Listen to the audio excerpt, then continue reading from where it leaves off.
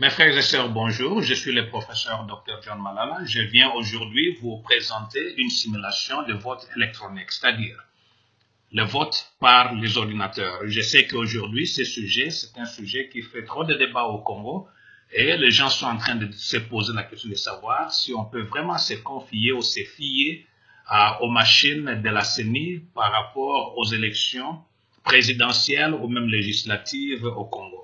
Ma réponse est non. Pour le moment, nous ne pouvons pas nous fier au vote électronique en RDC et je vais vous dire pourquoi vous, avez, vous aurez raison de vous méfier de ces systèmes. Euh, je vous présente d'abord qui je suis. Je n'ai pas fait euh, une vidéo, mais quand vous appuyez là-bas, donc chaque logiciel vous dit un peu quelque chose sur celui qui l'a programmé. Ici, vous voyez dans ces logiciels, il est question que c'est une conception et une programmation du professeur John Malala, pour ceux qui ne me connaissent pas. Donc là, c'est ma photo.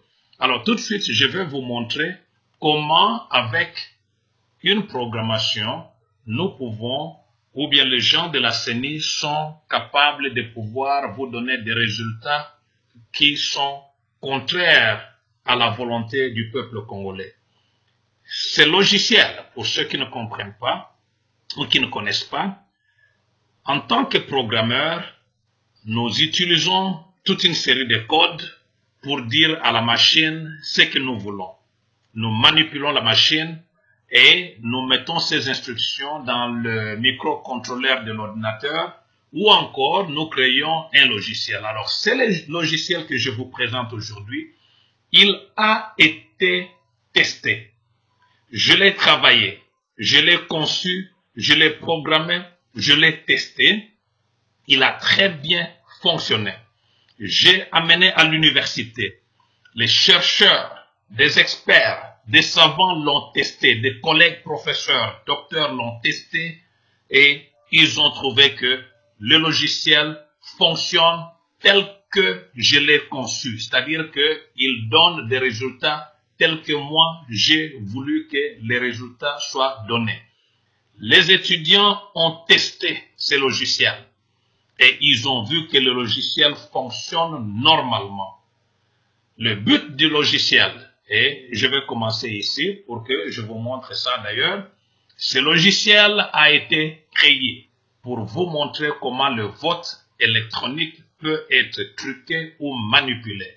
C'est-à-dire, si vous acceptez le vote électronique au Congo avec une commission nationale électorale euh, indépendante qui est déjà corrompue, si on peut ainsi dire, alors vous acceptez que vous ayez des résultats que vous n'allez pas aimer, malgré ce que l'on peut vous dire. Et je vous informe ici, chers compatriotes, chers amis, chers frères et sœurs, qu'avec le logiciel que j'ai fabriqué ici, vous pouvez appeler des experts des Nations Unies. Vous pouvez appeler les gens qui viennent faire des monitoring, mettre des témoins dans tous les centres de vote pour voir comment le vote a fonctionné. Les experts des Nations Unies et les gens qui seront là, les, les surveillants des centres de vote, ne vont pas découvrir la tricherie parce que la tricherie est électronique. Avec un pouvoir qui ne veut pas quitter et avec une CENI qui veut maintenir une certaine classe politique au pouvoir, c'est ce que vous allez trouver. Dans ce cas ici, je vous propose cinq candidats et je vous informe en avance que le dernier candidat ici représente les gens qui ne veulent pas quitter le pouvoir, mais la population ne veut pas de ces candidats. Dans un premier temps, je vais vous montrer qu'il n'existe pas de vote déjà caché dans l'ordinateur. C'est-à-dire, je commence ici, j'appuie sur Emmanuel Macron, je n'ai pas appuyé confirmer le vote. Tant que je ne confirme pas, il n'y a pas vote. Donc, j'ai appuyé partout ici et je n'ai pas confirmé. Il n'y a pas vote si nous clôturons les élections aujourd'hui et que la CENI demande nous demande, par exemple, nous dit, soumettez les résultats et que nous appuyons, nous soumettons les résultats. Donc, ça va donner Emmanuel Macron 0, Patrice Lumumba 0, Mobutu 0, Donald Trump 0, Corneille Nanka 0. Le total général, c'est 0. Vous avez vu qu'il y avait personne qui avait, volé, ah, qui avait voté. Alors, nous relançons l'opération. Nous commençons là-bas. Cette fois-ci, euh, je vais donner quelques voix aux gens.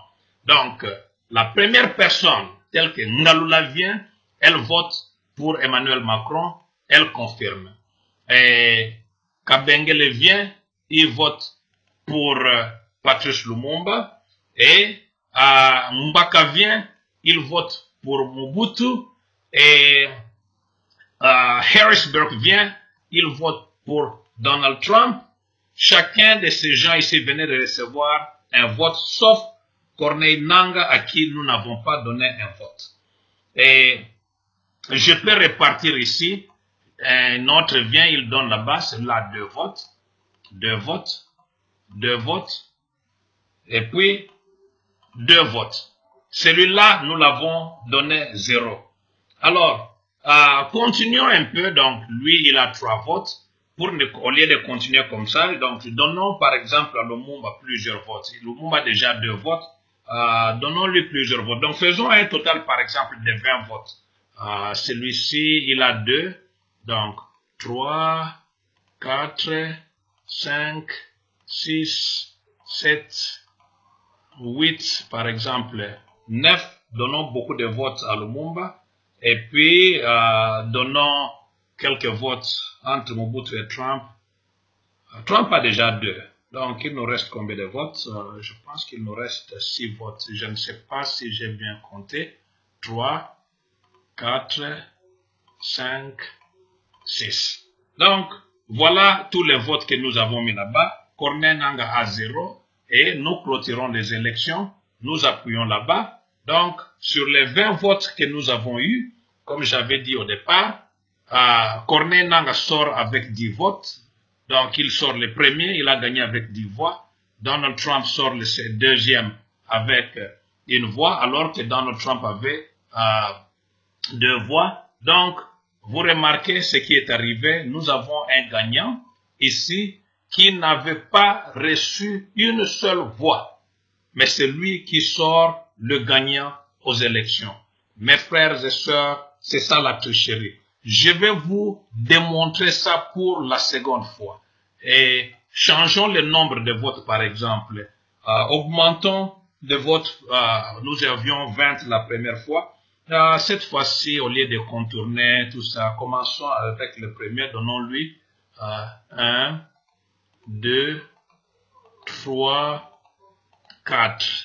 Ok, celui-ci, euh, D'abord, on, la fois, on lui avait donné 9. Donnons-lui même 11.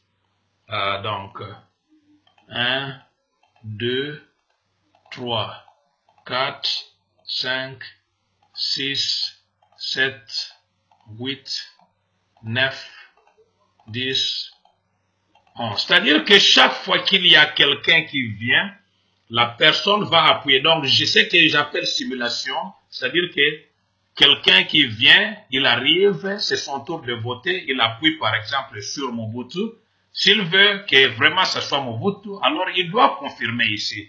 Euh, S'il dit que non, je ne voulais pas voter pour Mobutu, pour quelqu'un d'autre, il va là-bas, ainsi de suite. Donc ici maintenant, donnons quelques voix à Mobutu. Euh, Mobutu, on peut lui donner combien? Bon, donnons à Mobutu peut-être euh, 2, 3, 4, 5. Donnons-lui d'abord 5 comme ça. Allons chez Trump. Euh, donnons à Trump euh,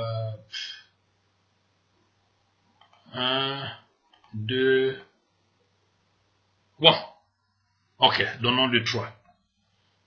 Euh, sur le plan pratique, c'est pas possible que Corneille n'ait aucun vote, quoi. Parce que lui-même, il va voter. Et puis, sa femme va voter. Donc, donnons-lui, euh, j'aurais souhaité lui donner zéro, mais j'ai déjà démontré avec zéro, donnons-lui deux votes.